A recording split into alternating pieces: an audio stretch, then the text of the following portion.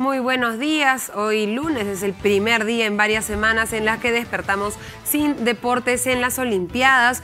Es un buen momento para ver qué cifras económicas nos ha dejado esta cita internacional. Eh, vemos el resultado en el tema términos de medallero de eh, Latinoamérica. Vemos que eh, la gran ventaja la ha llevado Brasil, país que ha organizado los Juegos Olímpicos, seguido por Colombia, que se ha llevado un total de ocho medallas y que es de alguna manera representativo de qué puede hacer un país cuando determina al deporte como una política de Estado. Vemos esta es la inversión anual que hacen los países de nuestra región en materia de deportes. Brasil invierte 842 millones de dólares al año en deportes, México 233, aunque no haya llevado medallas a casa, Chile 213 millones, Colombia 169, Ecuador bastante menos 52 y esta pequeña linecita de acá es lo que invierte el Perú, poco más de 10 millones de dólares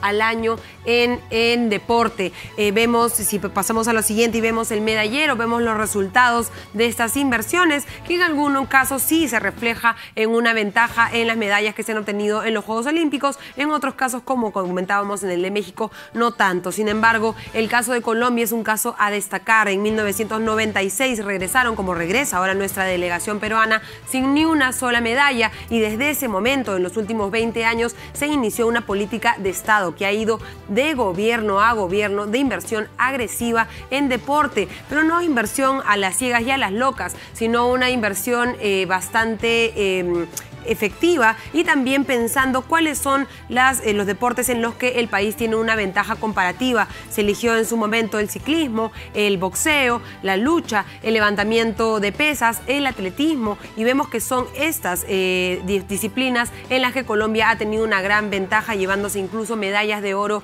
a su país. En, en un momento en Colombia se impuso un impuesto más alto, por ejemplo, a las empresas de telecomunicación móvil, a la telefonía celular y todo todo el aumento de impuestos fue dirigido directamente tanto a deporte como a cultura, resultado que ahora vemos en los buenos, eh, en las buenas eh, resultados que ha tenido México en estas Olimpiadas. Seguiremos durante el día dando más cifras económicas sobre eh, los Juegos Olímpicos. Sin embargo, pasamos a ver lo que va a suceder el día de mañana. No es una Olimpiada, pero podría considerarse un evento bastante importante. Se va a realizar en el Swiss Hotel durante todo el día el foro Diálogos para el Desarrollo que organiza Seminarium Confiep y donde RPP será el medio oficial.